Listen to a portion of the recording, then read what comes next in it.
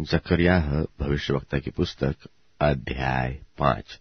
जकरियाह, अध्याय पाँच। फिर मैंने जो आँखें उठाई तो क्या देखा? कि एक लिखा हुआ पत्र उड़ रहा है। दूत ने मुझसे पूछा, कि तुझे क्या देख पड़ता है? मैंने कहा, मुझे एक लिखा हुआ पत्र उड़ता हुआ देख पड़ता है, जिसकी लंबाई बीस हाथ और चौड़ाई दस हाथ की है।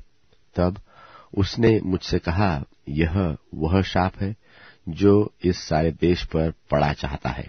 अर्थात जो कोई चोरी करता है, वह उसकी एक ओर लिखे हुए के अनुसार मैल की नाई निकाल दिया जाएगा। और जो कोई शपथ खाता है, वह उसकी दूसरी ओर लिखे हुए के अनुसार मैल की नाई निकाल दिया जाएगा।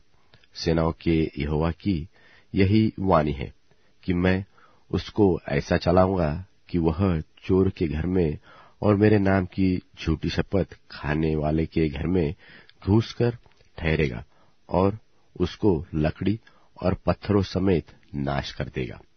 तब जो दूत मुझसे बातें करता था, उसने बाहर जाकर मुझसे कहा, आँखें उठाकर देख कि वह क्या वस्तु निकल जा रही है?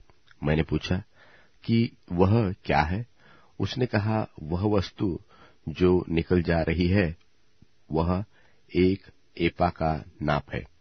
उसने फिर कहा, सारे देश में लोगों का यही रूप है।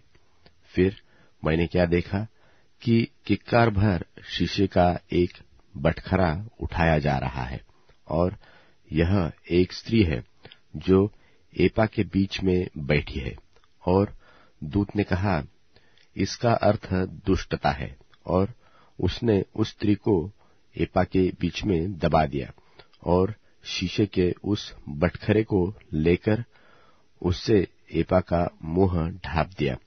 तब मैंने जो आँखें उठाई तो क्या देखा कि दो स्त्रियाँ चली आती है, जिनके पंख पवन में फैले हुए हैं और उनके पंख लग लग के से है और वे एपा को आकाश और पृथ्वी के बीच में उड़ाए लिए जा रही है। तब मैंने उस दूत से, जो मुझसे बातें करता था, पूछा कि वे एपा को कहाँ लिए जाती है? उसने कहा, शिनार देश में लिए जाती है कि वहाँ उसके लिए एक भवन बनाए और जब वह तैयार किया जाए, तब वह एपा वहाँ अपने ही पाए पर खड़ा किया जाएगा।